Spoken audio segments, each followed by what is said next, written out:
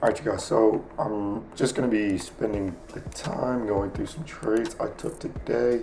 Um, and basically, the goal for today is I'm really just gonna open the kimono here and show you my strategy for real, for real. Um, I'm not gonna explain like kind of the thinking behind everything, but I'm gonna basically take you through the nine steps that I go through um, to determine if I'm gonna take an entry, right? Nine could sound like a lot, could sound like a little, depending on the type of trader you are. Um, but I think when you see the steps themselves, you realize it's a very, very simple, very simple strategy. So let's start out here on the weekly. Sorry. Start out here on the weekly.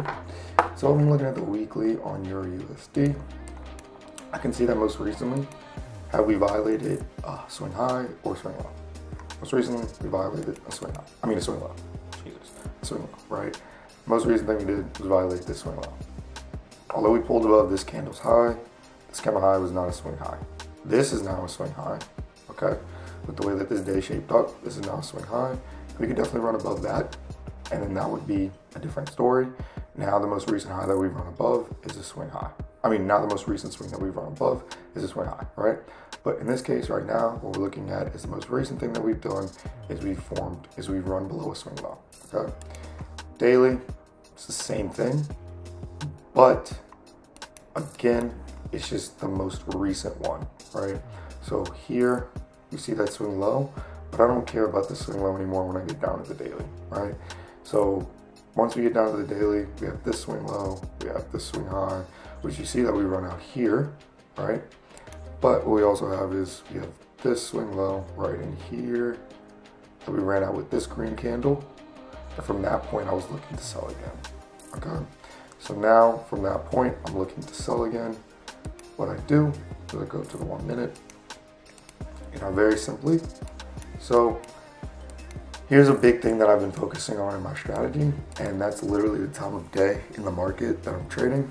So you see here on this box and then this gray line here, representing what's basically called, um, you know, so you're gonna see basically from the structural part of my strategy, a lot of what are called, or what you know, his his channel is called ICT. His name is Michael, whatever the fuck, Huddleston, I think. Yeah, but his channel is called ICT, right? And you see a lot of his concepts because his, you know, I've said this before, but his structural concepts kind of agreed um, and kind of made a lot of concepts that I understood before a bit more accurate. I said before, I think that the mentor I used before really just used ICT's like earlier mentorship and then kind of just took it and tried to sell it in a more less refined way. But I digress. So at this point, um, right, you can see this box here and this gray line. So that represents a time in the day where, you know, basically recommends that the market is more active. And so essentially what I've gone in and done is I've tested essentially only trading from seven to um, whatever, what is it? I can never think of the exact time. Um, London close is 1300. So 1 p.m. here in Atlanta. Okay, so from 7 a.m. to 1 p.m. that is my trading hours. Okay, so we are now at 7 a.m. Okay, now we have run above these highs. Okay, so that's first things first is we need to run above some highs. Okay, now what's nice about this trade was I was so here's something I'm also trying to change in my trading is not backtesting before I trade. I've been doing it as of recent just to try to get some backtesting out of the way that I want to get done. Um, but you know, when I go forward, when I'm done that type of back, when I'm done that back testing that I had goals to get done, like I just need to get it done. I need to get it out of the way. My goal is to not back test before I trade because I found that it makes me anxious to take, like it makes me more giddy and more like I have to find an opportunity, right? But kind of, I was feeling that and I saw this setup here, right? and we pushed above that. But I told myself it's not a real high. And as I stepped back and looked at it again, well, yes, it is. It would likely be a high on a lower time frame, like a tick chart. On the time frame that I'm trading, the one minute, I'm not going any lower. So that's what I care about, right? This is not a high. Like there is a, a brief intermediate high right there. You know, probably another one there as well. But that's not really highs, okay? So once we got past this, I started to look for possible opportunities, okay? But as we push down here and broke below the swing low because that's the next thing I'm looking for. Since I'm trying to sell, I want to see it break below swing low. We didn't get a fair value gap. I'm not going to teach you what a fair value gap is, not because I don't, you know, want to hide anything or anything like that, but it would just be better if you just go out and look at ICT stuff to understand what a fair value gap is because he's going to explain it way better than I am. So here, when we broke this low, we didn't get a fair value gap. Here, when we broke this low, we did get a fair value gap, okay? But I don't just enter on the first break of market structure. I enter on essentially the second break of market structure, right, which is breaking below the low or breaking above the swing high, right? Um, you know, there's more to a break of market structure than just breaking below or breaking below the swing high. But again, I can explain those things. You want to learn it, go to his YouTube channel. The shit is free. So here we got a break below, a swing low here, as well as here we got a swing low. So really count this one, okay? And we got a break below, swing low with a fair value gap in there, okay? Then we got to push up into that fair value gap, and then we broke below, swing low again here, all right? And then we established another fair value gap, okay? And then with that, what I did is, so this one was a bit unnecessary to do this, but the next trade was definitely more necessary to do this. So what I did was, and here's where I kind of start to divert from ICT, is I used the volume profile, um, and then I wouldn't say I divert from them using the fib, but I, I kind of just use it in a different way. Um, so first I throw in this volume profile, and I, you know, measure the swing. That broke that low, okay? And I look at the point of control. Right, since I'm trying to sell, I want to get above the point of control um, with whatever candle or order block I'm using to enter into the market at that time, all right?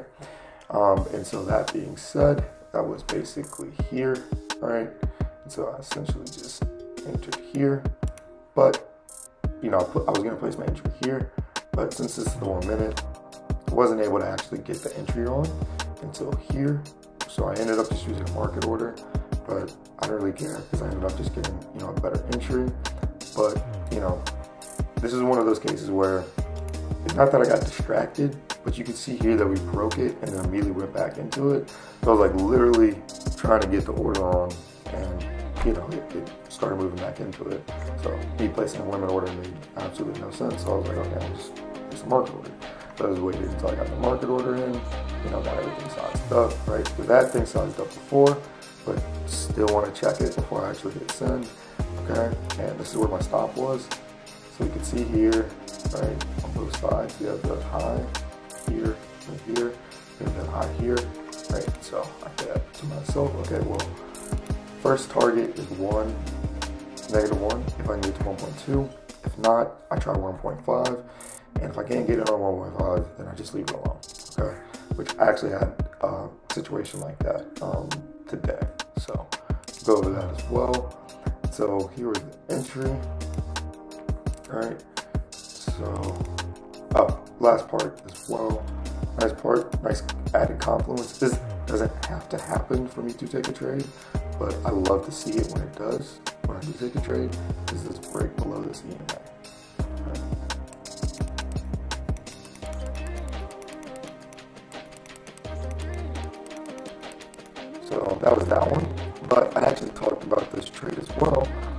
On because it was pretty interesting. So I currently trade for with prop firm and like the prop firm account and my own personal account. Um, and so I, you know, using my own personal account, actually got taken out by this here, right? So my stop loss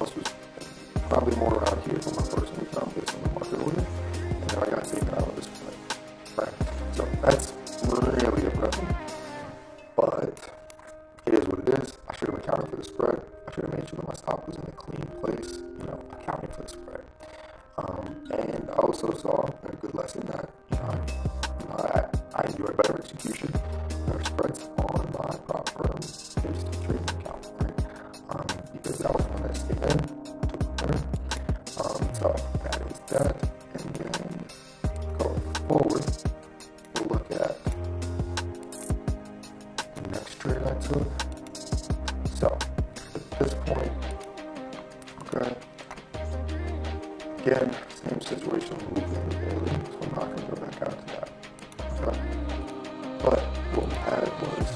What do you know?